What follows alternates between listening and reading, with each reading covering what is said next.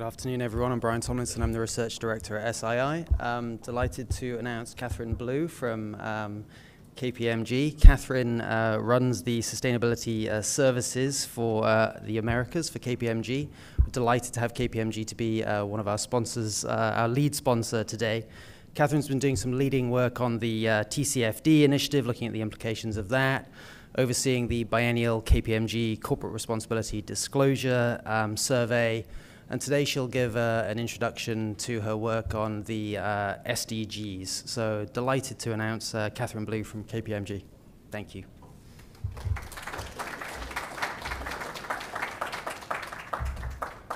All right, good afternoon. Uh, today, I wanted to spend some time think, uh, talking a little bit about sustainable development goals. Um, this is really um, based on our recent thought leadership that KPMG published uh, in the last month. Um, many of you may be familiar with the Sustainable Development Goals, some of you may not. Uh, I'll go through that in just a little bit. But what we really found was that in talking to our clients um, and in looking at the things they were struggling with around corporate reporting, there really was not an established framework or process or benchmark to start looking at migrating corporate reporting over to uh, Sustainable Development Goals in that framework um, what they were very interested in was what good reporting looks like from the standpoint of using the SDGs to help align what they're reporting from their corporate reporting standpoint. There was a lot of client uncertainty that we saw around where to start, what we actually need to do. I think it gets complicated a little bit by the fact that there are admittedly a lot of different standards that are out there. So, GRI, SASB, there's TCFD disclosures. Um, so, let's move that to the side. Those are all very good uh, frameworks but what companies are trying to look at is how do they realign everything that they're reporting around the SDGs. Um, so what we tried to do was we looked at the largest 250, the G250 companies globally. Um, we wanted to see what good looks like, um, so that was the main mission. We wanted to see how the largest companies were performing in, in terms of their reporting, and uh, what the companies were doing well, and what lessons could be learned by other reporters as they're trying to migrate and look at their reporting to be aligned to the SDGs. And I would also say, from the investor perspective, what this is starting to do is provide a framework for discussion around what are the longer term sustainability goals that your company is making. Um, so it really is a, a, good basis for conversation around the ESG investor issue as well. Um, you're also seeing funds starting to kind of align how they're um, looking at the aspects of their funds and what parts of the SDGs that it contributes to. So I'll start with um, here's the SDGs, what it looks like, and what, what matters. If you want a copy of it, my email's up there. Feel free to reach out to me, and I'll send you a copy of our thought leadership. It's also online. You can search by that particular topic, but I'm happy to, to send it directly to you. Many of you are familiar with the SDGs, so it's been best said that these are the, the 2030 goals, if you will, for the Earth. And you know, kind of have to bring that down to the next level of what's practical and what's relevant for companies in terms of their reporting and their business strategies. These are 2030 targets that were set by the UN, as many of you know, in 2015. Underpinning all of these um, 17 very important SDGs are about 169 targets um, that are underneath these that support the, the 17 SDGs. The um, objective of this was really to in the same way that the Paris Agreement allowed companies to align their capital against very uh, necessary goals for climate reduction. The goal was also to have the private sector employ a lot of its business processes, its funding, and its scale towards addressing these very important, very high level and aspirational needs from a global standpoint. So you can see those, how aspirational they are. No poverty, zero hunger, gender equality, you know, all very great goals, but very high level goals. And so um, the challenge is, and the struggle is, how do companies get from taking what they're doing and putting it in this framework and quantifying how they're contributing against these goals? Um, you know, what is the benefit of allowing this kind of lens on it? It really allows companies to, to strengthen how they're reporting. It strengthens engagement with stakeholders and investors because you can have this conversation about this higher level strategy alignment. It gives a little bit more of a long term view. And it also gives common language and really more of a shared purpose when you're talking about it in terms of the Sustainable Development Goals. So we looked at a number of leading companies to look at exactly what they're doing. And you can see some of the um, some of the, the companies here that we featured from the Global 250. I'll get into a couple of these examples. I won't get into all of them. And really what we wanted to look at was the quality of the reporting. And we wanted to have a way to basically look at uh, these different aspects, and we really couched it around the understanding, the prioritization of the SDGs, and the measurement. And in each of these, we had three different areas. For the understanding, we looked at the business case. Are they articulating the business case? Is the CEO making public commitments, um, firm public commitments? Uh, are they looking at the business impact? And on the prioritization side, how are they identifying them? What methodology are they using? Um, how are they setting the targets? And then you can see for measurement, um, are the, the goals smart and are they using the correct indicators? So that's the framework that we use for scoring as we looked at each of the, the reporters. So in terms of the results, I'll just go through these quickly. Um, the vast majority of the Global 250 reports that we looked at, um, so 76% of them, which is a seemingly positive report, are looking at the business impact of the SDGs on their business. But upon a closer look, if you flip the lens on that, most of them, if not all of them, we're talking about the positive impacts they can make on the SDGs, not really talking about the negative side or the risks that could jeopardize those SDGs. So it's very much of a more of a one-sided positive, and, and it's a great place to start, but I think over time you're going to see a little bit more balanced reporting in that area. Uh, 39% uh, reference are, are, referencing this from a CEO perspective. We saw the highest rate of this in automotive, with about 75% of the largest automotive companies stating the CEO commitment to the SDGs. And from a business case standpoint, as you would expect, that's a pretty low percentage rate um, on companies that are looking at the business case for SDG reporting. We saw that mostly in Europe, and we would expect that result. I think a lot of the frameworks for being able to measure social impact and social capital impact are starting to evolve more quickly now. I think we'll see that, that number migrate and change quite a bit, um, but that's really the, the uh, emerging inability to really to measure that piece of the impact from a business case standpoint. Um, one of the examples we highlighted in this area on public commitment and CEO commitment was BHP Billiton. Their CEO has, ba- has made very firm statements around uh, two years ago their commitment to the SDGs with respect to their environmental and social goals and their sustainability reporting the second phase of it was actually setting their goals for BHP Billiton, specifically around the SDGs and referencing that.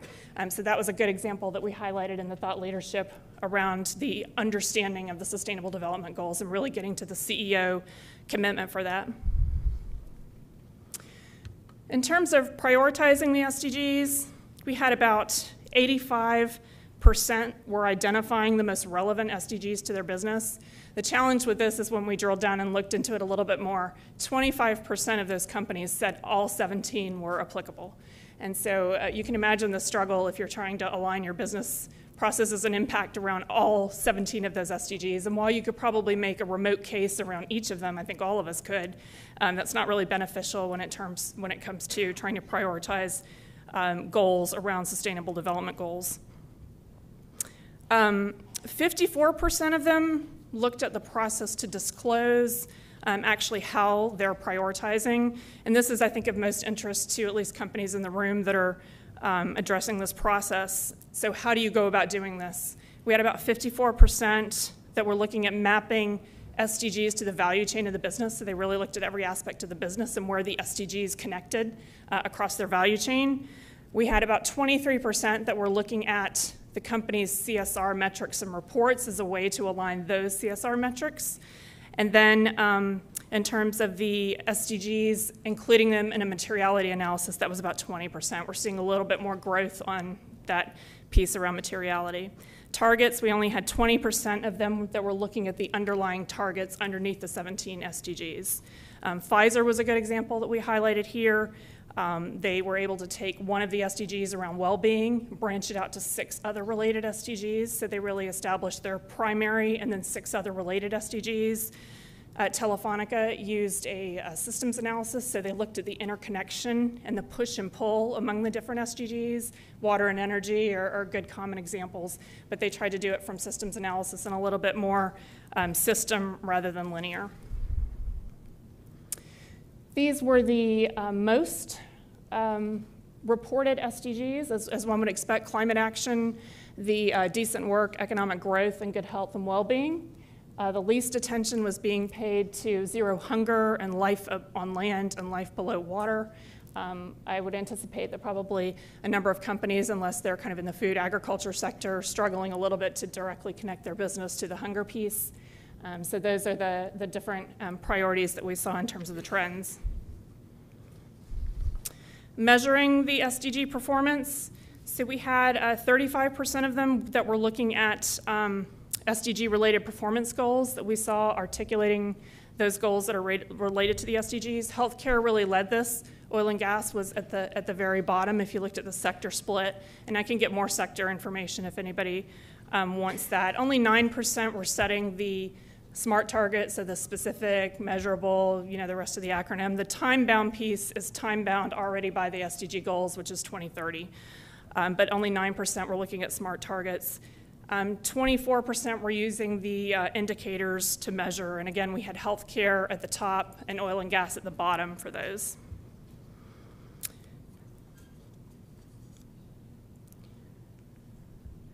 Um, when we applied the quality results, you can kind of see there was much higher quality as you started at the beginning of the understanding the SDGs, then moving towards prioritization um, got a little bit lower, and then measuring got a little bit lower than that. So um, as with all the surveys that we do, we've been surveying corporate reporting for you know over 20 years and looking at the trends there. We do generally see that these continue to migrate and get more sophisticated over time.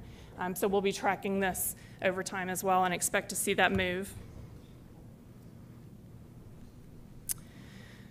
So in terms of recommendations and learnings for SG, SDG reporters, since we have about, looks like two minutes remaining, um, what we're really uh, wanting companies to do is just really first starting with the understanding. So start this conversation around how relevant the SDGs are to your business. This is another layer on top of or a lens on top of what you're already doing with respect to your corporate responsibility reporting.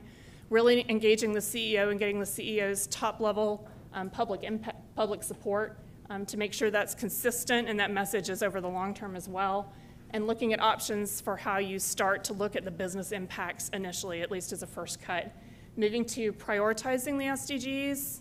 Um, there are very many different ways to do this. Right now, there's not a right or a wrong way to do it. It's really just looking at um, the most relevant SDGs and um, trying to, to hone those down where you can make a real business impact and not necessarily feeling the need to address all of them or even ones that are, have a little bit of a disconnect to your main business mission. Um, prioritization methods are really not one size fits all. This is very much an emerging area.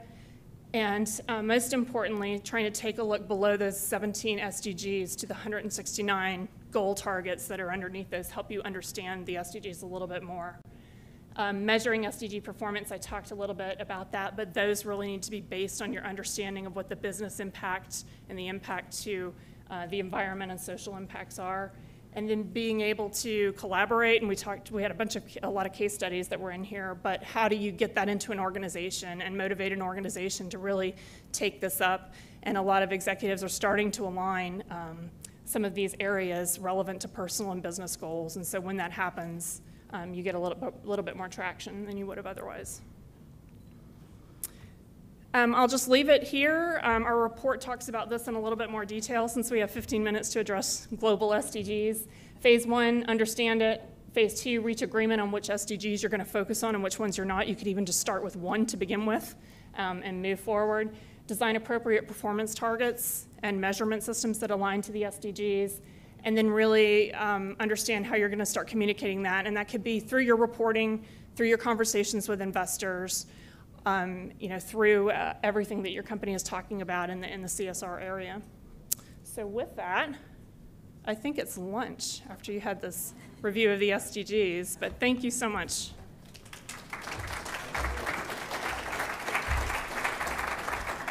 We have uh, box lunches over here, but they're really cool box lunches. They're not just the standard fare. And I just want to remind folks uh, this is a great report inside your folder. KPMG did, ESG strategy in the long view. And before that is Stephen Brown here. Stephen, Stephen, can you raise your hand? Great um, support from Stephen since day one uh, on our advisory board, and so we're grateful for everything that KPMG has done. And Stephen, you in particular, your insight on the advisory board has just uh, had a great impact. So thank you.